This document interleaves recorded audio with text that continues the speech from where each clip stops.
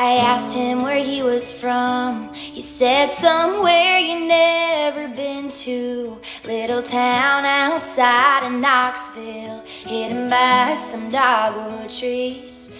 I tried talking with his accent. We held hands and waded into that blue water. I left my flip flops by his red wings on the beach.